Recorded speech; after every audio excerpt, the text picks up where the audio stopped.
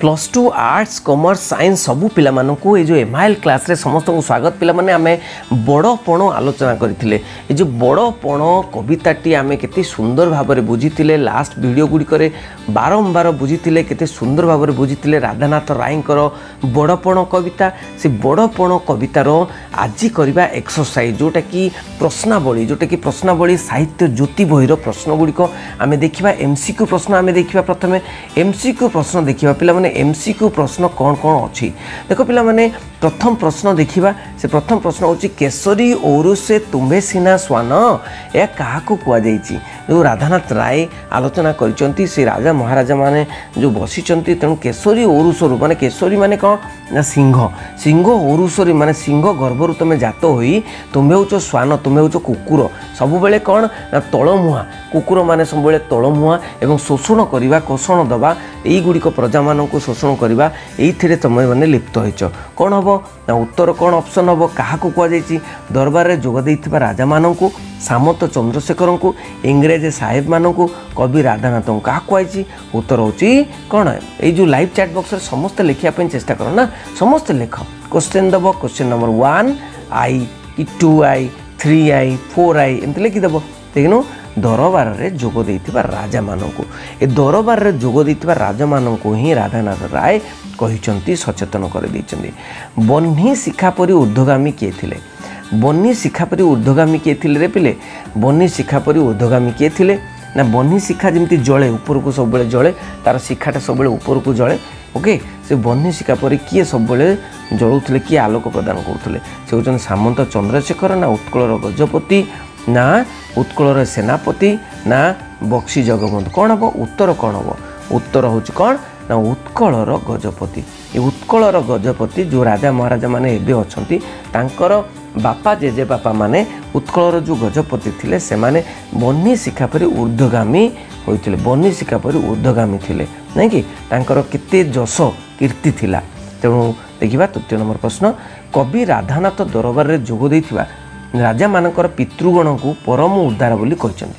ସେ ଆପଣମାନଙ୍କର ପିତୃଗଣ ଆପଣମାନଙ୍କର ପିତୃଗଣ ମାନେ ପିତୃଗଣ ଏଠି କ'ଣ? ନା ବାପା ଜେଜେବାପା ମାନେ ବହୁତ ପରମ ଉଦାର ଥିଲେ ବୋଲି କହିଛନ୍ତି। କାହିଁକି କହିଛନ୍ତି? ଏଠି ପ୍ରଶ୍ନ ହେଉଛି କାହିଁକି କହିଛନ୍ତି? ନା ସେମାନେ ସୁଶାସକ ଥିଲେ ଶକ୍ତିଶାଳୀ ଯୋଦ୍ଧା ଥିଲେ ରାଜ୍ୟକୁ ଏକ ପରିବାର ମନେ କରୁଥିଲେ ନା ଦୋଷୀ ପ୍ରଜାମାନଙ୍କୁ ଦଣ୍ଡ ଦେଉନଥିଲେ। କ'ଣ ହେବ? ଉତ୍ତର ହେବ। ପିଲାମାନେ ରାଜ୍ୟକୁ ଏକ ପରିବାର ମନେ କରୁଥିଲେ। ସେମାନେ ରାଜ୍ୟକୁ ଏକ ପରିବାର ମନେ କରୁଥିଲେ ଆଉ ରାଜ୍ୟରେ ପ୍ରଜାମାନଙ୍କୁ ବହୁତ ବାତ୍ସଲ୍ୟ ପ୍ରେମ ଦେଉଥିଲେ ବାତ୍ସଲ୍ୟ ସ୍ନେହ ଦ୍ୱାରା ବାନ୍ଧୁଥିଲେ ପରିବାର ସଦସ୍ୟ ବୋଲି ଭାବୁଥିଲେ ଶୋଷଣ କେଉଁଭଳି କରୁନଥିଲେ। ଦେଖିବା ନେକ୍ସଟ ପ୍ରଶ୍ନ। ନେକ୍ସଟ ପ୍ରଶ୍ନ କ'ଣ ଅଛି ପିଲାମାନେ? କବିଙ୍କ ସମୟର ରାଜା ପ୍ରଜାଙ୍କ ସମ୍ପର୍କ କିପରି ଥିଲା? ମାନେ କବି ଯେଉଁ ସମୟରେ ରାଜାମାନଙ୍କୁ ଧିକ୍କାର କରିଛନ୍ତି ରାଜାମାନଙ୍କୁ କ'ଣ କରିଛନ୍ତି ସଚେତନ କରିଦେଇଛନ୍ତି ପ୍ରଜାମାନଙ୍କ ସମ୍ପର୍କ କ'ଣ ଥିଲା ପ୍ରଜାମାନଙ୍କୁ ଯେଉଁ ଶୋଷଣ କରୁଥିଲେ। ତେଣୁ ଭକ୍ଷଣ ଆଉ ଭକ୍ଷକ ଭକ୍ଷଣ ଭକ୍ଷକ ମାନେ ଭକ୍ଷକ କିଏ? ରାଜା।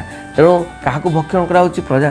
ତେଣୁ କାହାକୁ ତେଣୁ କ'ଣ ହେବ? କେଉଁ ସମ୍ପର୍କଟା କିପରି ଥିଲା କାହାକୁ କମ୍ପେୟାର କରାଯାଇଛି ତୁଳନା କାହା ସହିତ କୁହାଯାଇଛି? ଶୁଆ ଶାଢ଼ୀ ପରି ବାଜ ପାରା ପରି ସିଂହ ଶଶକ ପରି ପିତା ପୁତ୍ର ପରି। କ'ଣ ହେବ ଉତ୍ତର?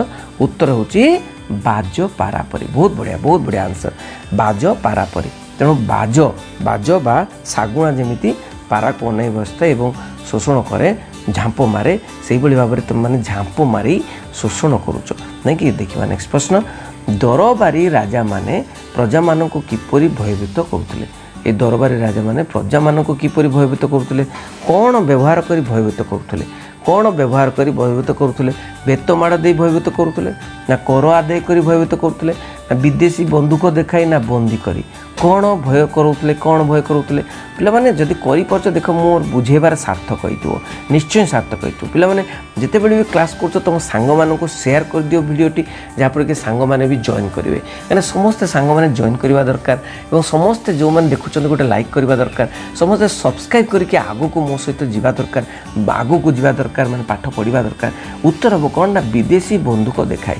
ଏ ବିଦେଶୀ ବନ୍ଧୁକ ଦେଖାଇ ଦରବାରୀ ରାଜାମାନେ ବିଦେଶୀ ବନ୍ଧୁକ ଦେଖାଇ ପ୍ରଜାମାନଙ୍କୁ ଭୟଭୀତ କରାଉଥିଲେ। ଦେଖିବା ନେକ୍ସଟ ପ୍ରଶ୍ନ। ନେକ୍ସଟ ପ୍ରଶ୍ନ ହେଉଛି ଦରବାରରେ ଯୋଗ ଦେଇଥିବା ରାଜାମାନଙ୍କର ସର୍ବସ୍ୱ କ'ଣ ଥିଲା? ଦରବାରରେ ଯୋଗ ଦେଉଥିବା ରାଜାମାନଙ୍କର ସର୍ବସ୍ୱ ତାଙ୍କର ଆଉ କିଛି ସେମାନେ ଦେଖୁନଥିଲେ। ସେମାନଙ୍କ ସର୍ବସ୍ୱ କ'ଣ ଥିଲା? ଧନ ସମ୍ପତ୍ତି ସୁନା ଗନ୍ଥାଘର ସୈନ୍ୟ ସାମନ୍ତ। କ'ଣ ଥିଲା ସର୍ବସ୍ୱ? ତାଙ୍କର ସର୍ବସ୍ୱ ସବୁବେଳେ ତାକୁ ଫୁଲ୍ କରିବା ପାଇଁ ତାକୁ ପୂରଣ କରିବାକୁ ଚାହୁଁଥିଲେ। ଉତ୍ତର ହେଉଛି ଗ୍ରନ୍ଥାଘର ଏଇ ଗ୍ରନ୍ଥାଘର ପୂରଣ କରିବା ପାଇଁ ସବୁବେଳେ ଚାହୁଁଥିଲେ। ଏଇ ଗ୍ରନ୍ଥାଘର ପୂରଣ କରିବା ପାଇଁ ସବୁବେଳେ ଚାହୁଁଥିଲେ ଏ ହେଉଛନ୍ତି ରାଜାମାନେ ଦରବାରରେ ଯୋଗ ଦେଉଥିବା ରାଜାମାନେ। ଦେଖିବା ନେକ୍ସଟ ପ୍ରଶ୍ନ। ଦୁଃଖୀ ରକ୍ଷୀଙ୍କୁ ଶୋଷଣ କରି ଦୁଃଖୀ ରକ୍ଷୀଙ୍କୁ ଶୋଷଣ କରି ରାଜାମାନେ ବିଦେଶୀକୁ କ'ଣ ଖୁଆଉଥିଲେ? ଦୁଃଖୀ ରକ୍ଷୀଙ୍କୁ ଶୋଷଣ କରି ରାଜାମାନେ ବିଦେଶୀକୁ କ'ଣ ଖୁଆଉଥିଲେ? କ'ଣ ଖୁଆଉଥିଲେ? ଘିଅ ଅଟା ଛାଗ ମୁଣ୍ଡା କୁକୁଟାଣ୍ଡ ନା ଖୁଦ କୁଣ୍ଡା ଦେଖ ପିଲାମାନେ ଛାଗ ମୁଣ୍ଡା ଘିଅ ଅଟା ଏଗୁଡ଼ା ସବୁ ବି ବିଦେଶୀ ଏଇ ଯେଉଁ ଆମର ବିଜନେସମ୍ୟାନ୍ ବା ବ୍ୟବସାୟୀମାନଙ୍କୁ ଖୁଆଉଥିଲେ। କିନ୍ତୁ କ'ଣ ବିଦେଶୀମାନଙ୍କୁ କ'ଣ ଖୁଆଉଥିଲେ? ବିଦେଶୀମାନଙ୍କୁ ରାଜାମାନେ ବିଦେଶୀମାନଙ୍କୁ କ'ଣ? ନା କୁକୁଟାଣ୍ଡ ଖୁଆଉଥିଲେ। କ'ଣ? ଉତ୍ତର ହେବ କୁକୁଟାଣ୍ଡ ଖୁଆଉଥିଲେ। କୁକୁଟାଣ୍ଡ ମାନେ କୁକୁଡ଼ା ଅଣ୍ଡା। କୁକୁଡ଼ା ଅଣ୍ଡା ଖାଉଥିଲେ ଏଠି କୁକୁଡ଼ା ଅଣ୍ଡା ଖୁଆଇବା ନାହିଁ। ତେଣୁ ଅ, ଯେଉଁ ଗ୍ରନ୍ଥାଗର ଯେଉଁ ଧନ ସମ୍ପତ୍ତି ସେମାନେ ଗିଫ୍ଟ ଆକାରରେ ଦେଉଥିଲେ। ତେଣୁ ଦେଖିବା ନେକ୍ସଟ ପ୍ରଶ୍ନ ରାଜାମାନେ କିପରି ନିଜର ମାଲଖାନା ପୂର୍ଣ୍ଣ କରୁଥିଲେ?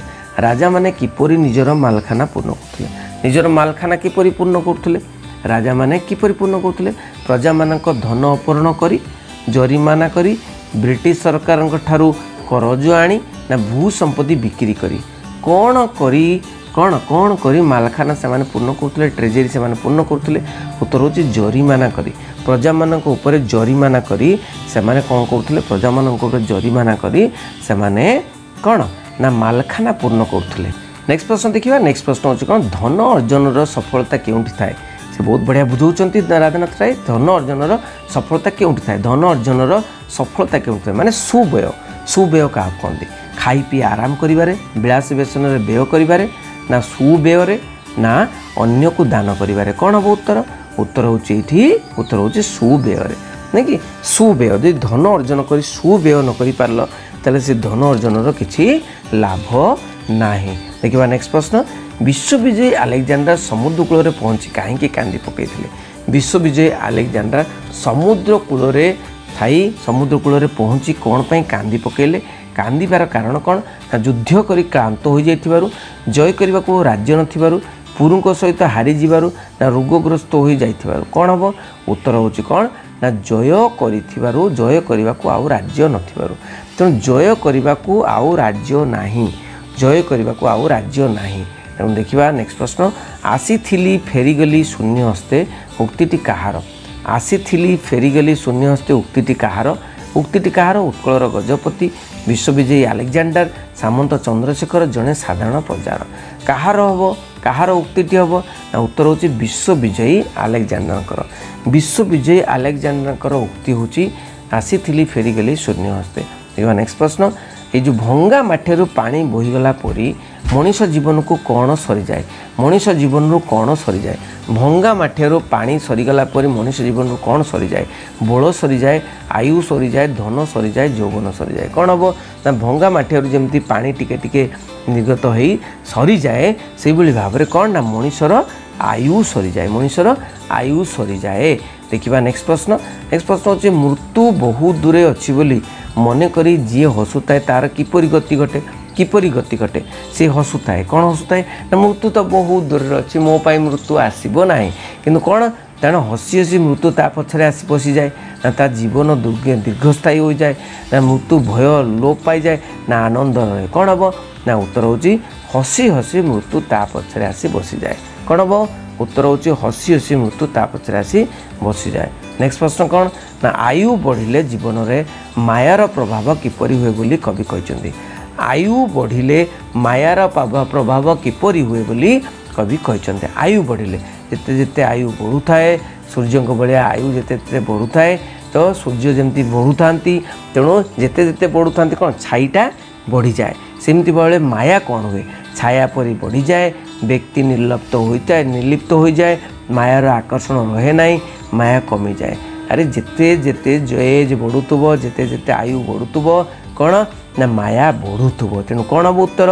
ଛାୟା ପରି ଛାୟା ପରି ମାୟା ବଢ଼ି ବଢ଼ି ଚାଲେ। ଛାୟା ପରି ମାୟା ବଢ଼ି ବଢ଼ି ଚାଲେ। ଦେଖିବା ନେକ୍ସଟ ପ୍ରଶ୍ନ। ବିଧାତା ଧର୍ମ ରୂପକ ପୋତ ବଢ଼ିଛନ୍ତି କାହିଁକି? ବିଧାତା ଧର୍ମ ରୂପକ ପୋତ ଗଢ଼ିଛନ୍ତି କାହିଁକି? ସଂସାର ବାରିଧି ଅତିକ୍ରମ କରିବା ପାଇଁ ଧର୍ମହୀନ ବ୍ୟକ୍ତିକୁ ଧର୍ମ ସମ୍ପର୍କରେ ସଚେତନ କରିବା ପାଇଁ ଧର୍ମର ପ୍ରଚାର କରିବା ପାଇଁ ରାଜ୍ୟ ଶାସନ କରିବା ପାଇଁ। କ'ଣ ହେବ ଉତ୍ତର? ନା ଉତ୍ତର କ'ଣ ହେବ? ଆରେ ଏଇଠି କୋଶ୍ଚିନ୍ କ'ଣ ଅଛି? ନା ବିଧାତା ଧର୍ମ ରୂପକ ପୋତ ଗଢ଼ିଛନ୍ତି। ବିଧାତା ମାନେ ଭଗବାନ। ବିଧାତା ମାନେ ଭଗବାନ। ଭଗବାନ ଧର୍ମ ରୂପକ ପୋତ କାହିଁ ଗଢ଼ିଛନ୍ତି? ନା ପୋତ ମାନେ କ'ଣ ନୌକା? ନୌକାରେ କ'ଣ ପାରି ହେବ? ନା ସଂସାର ବାରିଧିକୁ ପାରି ହେବ। ସଂସାର ସମୁଦ୍ରକୁ ପାରି ହେବ।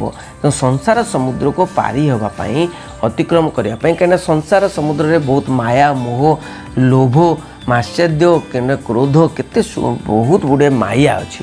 ତେଣୁ ସଂସାର ବାରିଧିକୁ ଅତିକ୍ରମ କରିବା ପାଇଁ କେବଳ ଗୋଟିଏ ମାତ୍ର ଜିନିଷ ହେଉଛି ଧର୍ମ। ତେଣୁ ଧର୍ମକୁ ଧର୍ମ ରୂପକ ନୌକାରେ ହିଁ ସଂସାର ଅତିକ୍ରମ କରିବାକୁ ପଡ଼ିବ। ନାଇଁ କି? ପିଲାମାନେ ଯେଉଁମାନେ ସବସ୍କ୍ରାଇବ୍ କରିନାହାନ୍ତି ଏ ଚ୍ୟାନେଲଟିକୁ ସବସ୍କ୍ରାଇବ୍ କରିଦେବେ ବେଲ୍ ଆଇକନ୍ ଅଲ୍ କରିଦେବେ ଆମେ ନେକ୍ସଟ ଭିଡ଼ିଓରେ ଆ, ଆମେ ଆ, କ'ଣ? ନା ଏକ ମାର୍କିଆ ପ୍ରଶ୍ନ ଗୁଡ଼ିକ ଦେଖିବା ସେଇ ସାହିତ୍ୟ ଜ୍ୟୋତିର ବୁଝିବା ବୁଝିବା ପ୍ରତ୍ୟେକ ପ୍ରଶ୍ନ ବୁଝିବା ବୁଝିଲେ ଯାଇକରି ଆମେ ଏକାଥରେ ମନେ ରଖିଦେବା। ତ ମୋ ସାଙ୍ଗରେ ପଢ଼ ଏବଂ ବଢ଼ ଯେଉଁମାନେ ଲାଇକ୍ ଗୋଟେ କରିନାହାନ୍ତି ସମସ୍ତେ ଗୋଟେ ଗୋଟେ ଲାଇକ୍ କରିଦିଅନ୍ତୁ ଏବଂ ଏଇଟା ଗୋଟିଏ ରିକ୍ୱେଷ୍ଟ ସମସ୍ତେ ସେୟାର କରିବେ ଏଇ ଭିଡ଼ିଓଟିକୁ ବହୁତ ବହୁତ ଧନ୍ୟବାଦ ଥ୍ୟାଙ୍କ ୟୁ ଭେରି ମଚ୍